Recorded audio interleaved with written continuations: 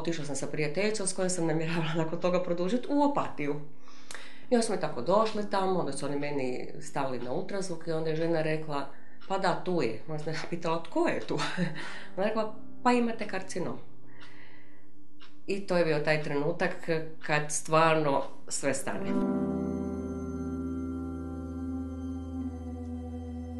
Na tom nekom šalteriću ti dobiš papir na kojem pišu sve te strahote koje se u tebi dešavaju.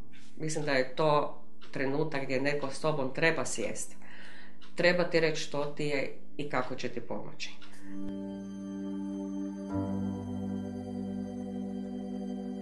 Koliko god misliš da si ja, koliko god to, jer ni jednom trenutku nisam mislila to neće dobro završiti.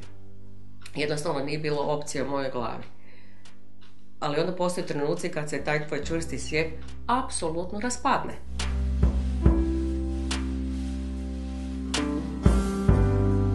Najteže mi je bilo kao mami.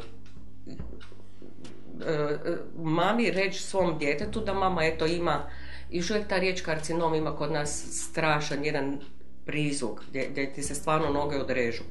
I sad kako to reći nekome koji ti cijeli život, a da ga ne prestrašiš. Tokom svoga liječenja ja sam mislila to meni ide sjajno, da, to meni, da meni nikakva psihološka pomoć ne treba. Do momenta dok moje kemoterapije nisu završile i ja sam mislila da će sad eto sutra sve biti iz početka i bit će sve prekrasno. I onda sam shvatila da se grozno osjećam, da me sve boli, da, da, da mi se tijelo raspada. I tu sam strahovito pala. U potrazi za nečim i nekim prolazila ulicom i vidjela natpis udruge i ušla unutra. I to je meni promijenilo život.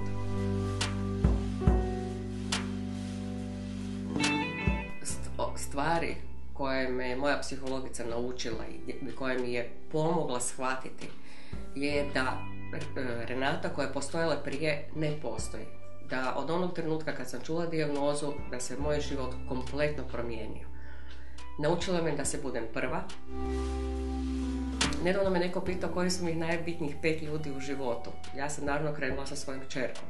I kad sam došla do broja, rekla sam ne, ne, idem iz početka. Ja, moja kćer i onda krenula dalje. I mislim da je to najveća škola koju sam naučila.